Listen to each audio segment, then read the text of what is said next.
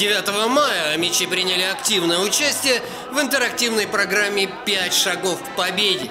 Первоосновой акции стала идея взгляда в прошлое и воссоздания атмосферы наиболее значимых событий Великой Отечественной войны.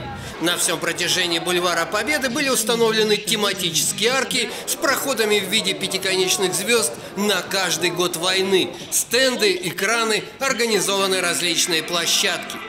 Участниками события стали более 10 тысяч человек. К акции присоединились заместитель председателя правительства Омской области Олег Заремба, региональный министр по делам молодежи, физической культуры и спорта Дмитрий Крикарьянц и его первый заместитель Иван Колесник.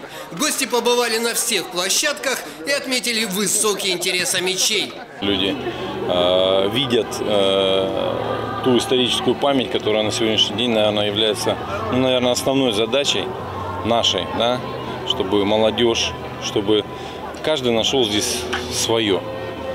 Люди ветераны, люди, у которых э, память о войне свежа э, по возрасту. Молодежь, каждый видел э, вот, истинный смысл, то, что несут наши эти пять шагов к победе. Сильные эмоции вызвала программа, связанная с первым годом войны. Школьный вальс выпускников 1941 года, выполнение нормативов ГТО, народные хороводные игры и суровый голос легендарного диктора Юрия Левитана, возвестивший о начале Великой Отечественной войны. Без всякого объявления войны германские вооруженные силы атаковали границы Советского Союза. Пять с половиной месяцев шли упорные бои.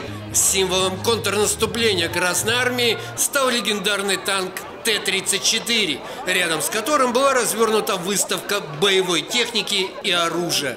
Студенты и преподаватели Омского техникума мясной и молочной промышленности пришли на этот замечательный праздник и сфотографировались на фоне танка Т-34, который самый главный символ нашей победы.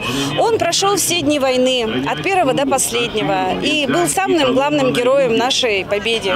Спасибо нашим героям, нашим дедам, нашим танкистам, нашим всем воинам за эту победу. Очень здорово, что молодежь может увидеть образцы Великой Отечественной войны, более современные. Вот.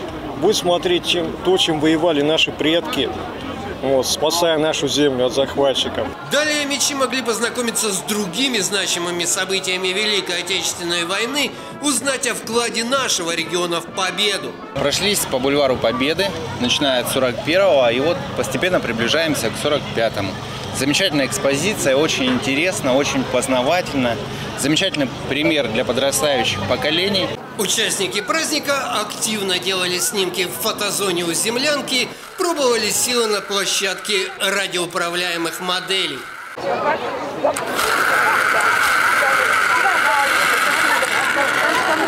Все желающие могли подкрепиться солдатской кашей с чаем на полевой кухне. Праздничную программу сопровождал духовой оркестр.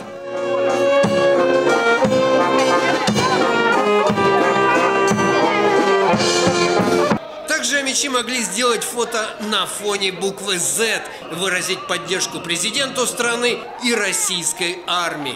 Для меня этот День Победы особенный, потому что сейчас наша страна проводит спецоперацию, которая очень нужна жителям Украины, Новороссии, Донбасса. Я верю в победу и полностью поддерживаю нашу спецоперацию, которая имеет и смысл духовный, потому что мы должны победить нацизм и в 22 году, же, как победили в 45 В завершении акции были возложены цветы к монументу «Слава героям».